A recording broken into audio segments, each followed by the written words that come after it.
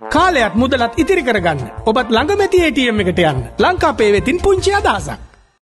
පසුගේ නමවන දින දිවිනපුරා සිදු වූ ප්‍රචණ්ඩ ක්‍රියා සහ කලහකාරී ක්‍රියා සම්බන්ධව ශ්‍රී ලංකා පොලිසිය විමර්ශන කටයුතු සිදු කරනු ලබනවා.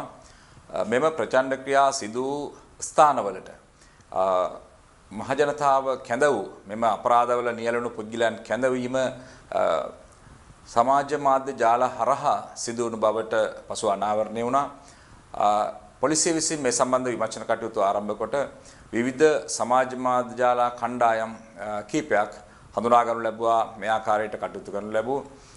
ඒ අනුව ඒවායේ පරිපාලකවරුන් පරිගණක අපරාධ විමර්ශන කොට්ටාශය මගින් අත්අඩංගුවට ගැනීම සිදු කරනු ලැබුවා.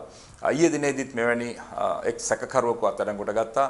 ඔහු ගම්පහ හරකන්දෙනිය ප්‍රදේශයේ පදිංචි පුද්ගලයෙක් වයස අවුරුදු 20ක පමණ මෙම පුද්ගලයා විසිනුත් තමාගේ මුහුණු පොත භාවිතා කරමින් විවිධ ප්‍රචණ්ඩ ක්‍රියා සඳහා මහ ජනතාව පොළඹවන ආකාරයේ විවිධ තොරතුරු ප්‍රචාරය කර තිබෙන බවට අනාවරණය වුණා.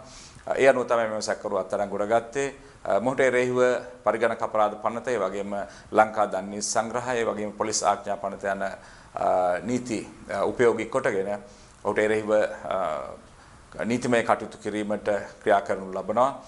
මෙම සැකකරු අද දින ගරු අධිකරණයට ඉදිරිපත් කිරීමට නියමිතයි. මේ සම්බන්ධව පරිගණක අපරාධ විමර්ශන කොට්ටාශය මගින් තවදුරටත් නොකඩවා විමර්ශන කටයුතු සිදු කරන ලබනවා.